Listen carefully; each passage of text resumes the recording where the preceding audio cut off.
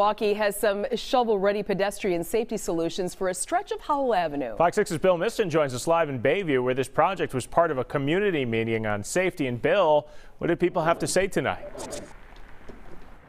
Well, Ben, people who live here in Bay View had a lot to say about this stretch of Howell Avenue and this intersection here from needing more lighting to better law enforcement patrolling after James Hanson was killed by a hit and run driver as she walked here on the sidewalk Christmas Eve.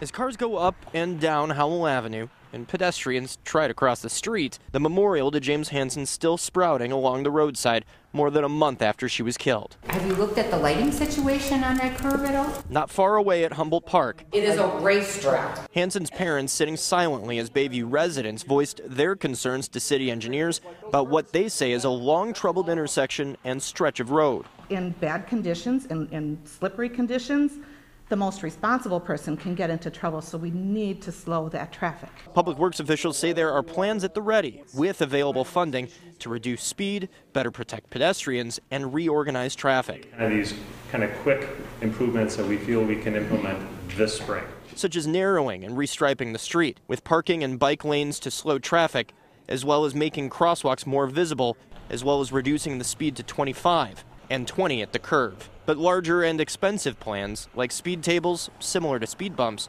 or roundabouts, which did receive a round of applause, would need more study, as there's no silver bullet. If it turns out that to get something done there, that we have to come together as a community and raise some more funds to get something done there, I think it will be well worth it.